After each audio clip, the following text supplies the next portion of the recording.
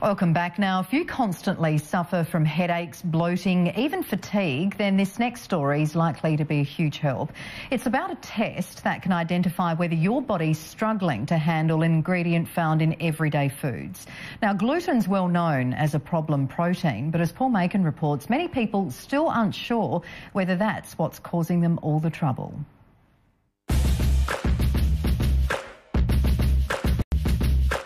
Was like some horrible, toxic, nasty poison. Some people are very intolerant. Other people can eat it with impunity. Not my friend, not, not uh, for the rest of my lifetime anyway. It can make you awfully sick and in some cases be fatal. I had no idea what it was, but never, never, didn't even cross my mind. The bad guy is gluten. Gluten is a protein that's found in certain grains, like wheat, rye, barley, oats, spelt, and kamut. And it's in so many processed foods we eat every day. The trick is to know if you and it get along. Because if you don't, watch out. Chronic fatigue and aches and pains all through my body. I thought I must have had arthritis in, in virtually every joint in my body. I just felt lethargic, tired, um, unmotivated. I was experiencing basically a sore stomach, feeling tired all the time, just a general feeling of being unwell, congested, bloated. All of these Adelaide people found gluten was not their friend. And it mightn't be your friend either. There's so many undiagnosed gluten intolerant people out there who are suffering with autoimmune diseases who could be so much better by giving up gluten. And they don't even know it's gluten. They don't even suspect it's gluten. MD and successful author Dr. Sandra Cabot is leading the charge to enlighten people about the effects of gluten on the immune system and what that triggers. Your immune system could attack your joints and you could get rheumatoid arthritis, or it could attack your skin and you could get psoriasis. It could attack your kidneys and you could get nephritis. So your immune system can attack any part of your body, even your brain, causing multiple sclerosis. I didn't see how such a small food additive could make such a huge difference. Rachel O was experiencing severe stomach pain and was a very unwell girl.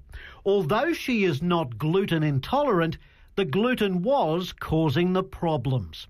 It's just such a small food additive, and I just didn't see how that could possibly make such a huge difference to the intense symptoms that I was having. But after a naturopath got her onto a gluten free diet, things turned around dramatically. It basically reversed all of my symptoms. I actually went overseas and stopped the gluten free diet for three weeks.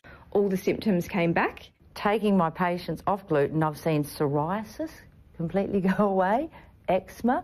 I've seen big improvements in arthritis, big improvements in thyroid disease. There were huge nutritional deficiencies. In the end, I was taking 30 vitamin supplements a day, and I needed every one of them.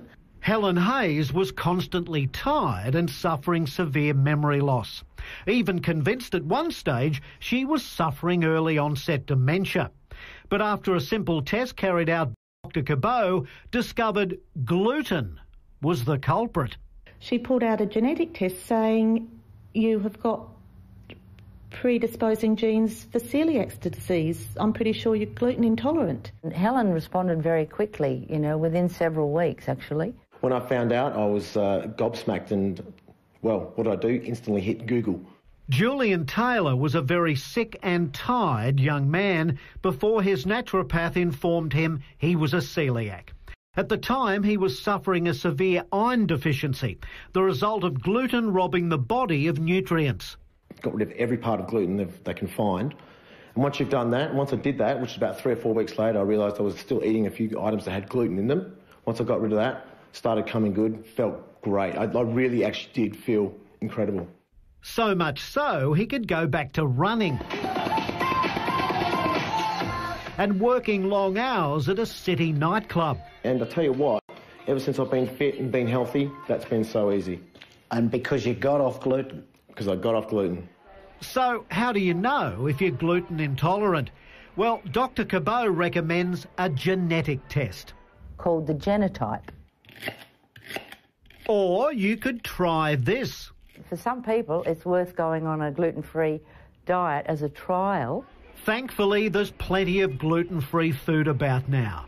Manufacturers are getting the message. It just requires a bit more imagination on your part.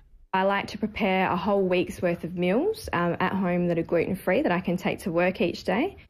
Gluten free food means you're forced to actually have healthy food as well. And remember, if you're gluten intolerant, you're more likely to be overweight. Because in some people, it will disturb the metabolism in a way that they will store more fat. You know, that's very simply put. But yeah, some people will find that when they give up gluten, they definitely lose weight. Well, if you're keen on having that blood test, just see your GP. For more information, though, head straight to our website, todaytonight.adelaide.com.au. But we'll be back with more of the program right after this.